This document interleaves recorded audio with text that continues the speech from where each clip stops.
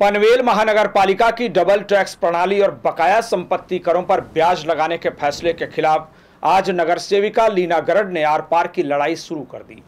Kharghar colony forum के ज़रिए आज कामोठे और खारघर में सांकेतिक आंदोलन की शुरुआत करते हुए लीना गरड ने कहा कि यह आर पार की लड़ाई है और जब तक न्याय नहीं मिल जाता, आंदोलन जारी रहेगा।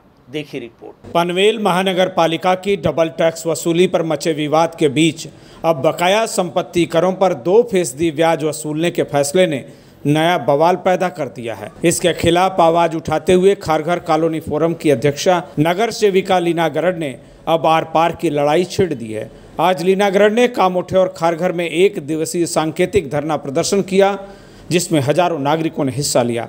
मंच से हुंकार भरते हुए लीना गरड ने इकतीस मार्च के बाद होने वाली ब्याज वसूली को रद्द करने की मांग की। उन्होंने कहा कि इसके निर्णय का अधिकार मनपायुक्त के पास है। फिर भी सत्तारूढ़ बीजेपी के दबाव में वे जनहित का फैसला करने में देरी कर रहे हैं। लीना गरड ने चेतावनी दी कि यदि न्याय नहीं मिला तो और भी तीव्र आंदोलन होगा। पिछले पाँच सालों में महानगर पालिका ने हमारे एरिया में कुछ भी काम नहीं किया है। यहाँ पे ज़्यादा पेड़ नहीं लगाया महानगर पालिका ने, लेकिन हमसे वो वृक्ष कर मांग रही है। महानगर पालिका ने यहाँ पे एक रुपया खर्च नहीं किया है। फिर महानगर पालिका हमसे टैक्स मांग रही है? अरे शर्म आनी चाहिए इनको। किस मुद्दे पे टैक्स मांग रही है हमसे? विकास काम सड़कों ने किया है। महानगर पालिका खाली मेंटेन करना चाहती है। अगर पाँच सौ रुपए में सड़कों हमें सेवाएँ दे सकती है तो उसी के लिए महानगर पालिका हमसे दस हज़ार क्यों मांग रही है? ये हमें कभी भी मान्य नहीं है। हम कभी इस प्रकार का अन्याय सहन नहीं करेंगे।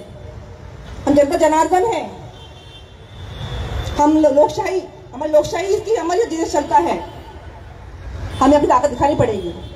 इस प्रकार से आज सत्ताधारी हम पर अन्याय कर रहे हैं गलत तरीके से हम पर टैक्स लगा रहे हैं, पूरे महानगर पालिका में ढाई लाख प्रॉपर्टी ओनर्स हैं। कितने ढाई लाख?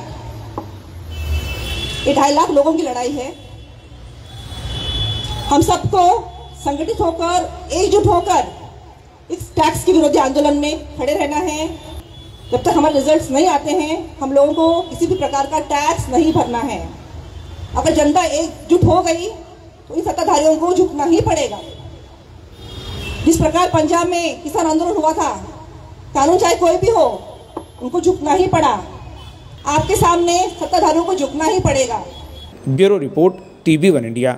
Latest updates और ताज़ा तरीन खबरों के लिए टीवी वन इंडिया लाइव को सब्सक्राइब कीजिए और नोटिफिकेशन पाने के लिए बेल आइकॉन को दबाना मत भूलिए।